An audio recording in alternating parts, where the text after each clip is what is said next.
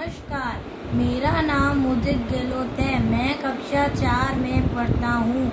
आज हम संज्ञा के बारे में पढ़ेंगे। संज्ञा।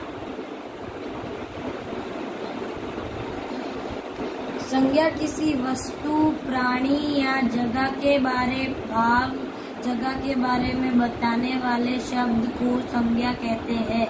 जैसे प्राणी मुद्दे रावी, शेर। वस्तु, जैसे कोई भी चीज़ हो तो उसको वस्तु कहते हैं। पंखा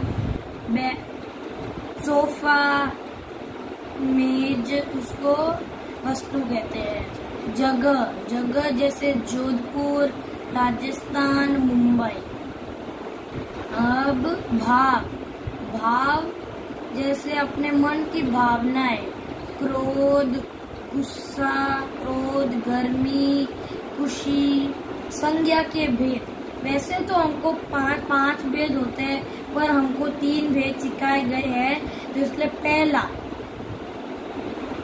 व्यक्तिवाचक व्यक्तिवाचक व्यक्तिवाचक विशेष प्राणी, वस्तु या स्थान के बारे में जानकारी देने वाले शब्द व्यक्तिवाचक होते हैं, जैसे महात्मा गांधी, रामायण और और और, ठीक है, और अब जातिवाचक जातिवाचक, विशेष व्यक्ति विशेष व्यक्ति या फिर स्थान के बारे में पूरी उसकी जाति बताने वाले शब्द जातिवाचक शब्द होते हैं, जैसे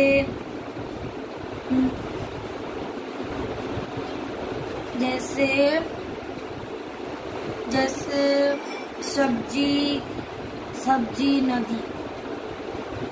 अब ये लास्ट है, इसको भाववाचक कहते हैं। भाव अपने, जैसे अभी मैंने बोला था, भाव, अपने मन के भावनाएँ, वैसी संज्ञा शब्द जैसे किसी भी दिशाओं दिशाओं और दिशाओं, गुण, दोष के आदि बोध देने वाले आदि शब्द को भाववाचक कहते हैं। जैसे जैसे बुढ़ापा बुढ़ापा बुढ़ापा प्यास।